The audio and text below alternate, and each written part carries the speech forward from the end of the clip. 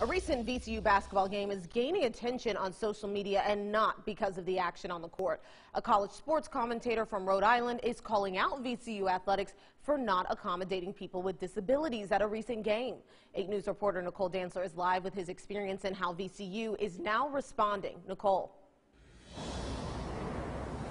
Deanna Shane Donaldson says that he couldn't access the media booth at Tuesday's men's basketball game. It caused him to miss out on a radio broadcast, and now VCU is apologizing for that mishap.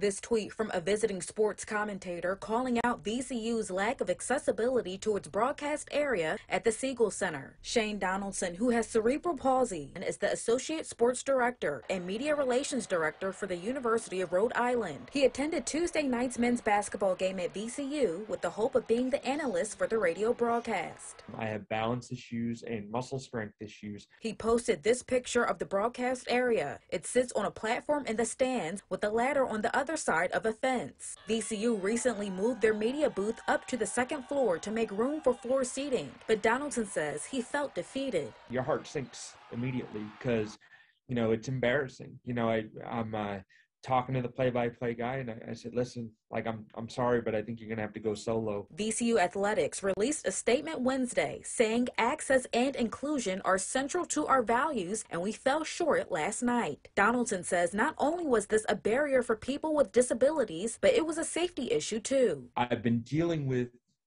my you know disability my entire life um, as an adult this is one of the first times that i have ever been made to feel subhuman. I've reached out to VCU Athletics to ask if they were following ADA procedures and if they informed media personnel ahead of time of the layout, but they declined our request for an interview. Live in Richmond, Nicole Dantzler, 8 News.